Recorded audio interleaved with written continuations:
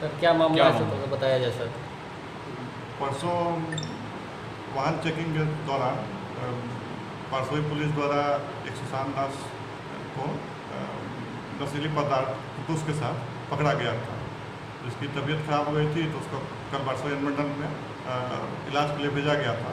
तो वहाँ से हथकड़ी तोड़ के हथकड़ी छुड़ा के भाग गए थे।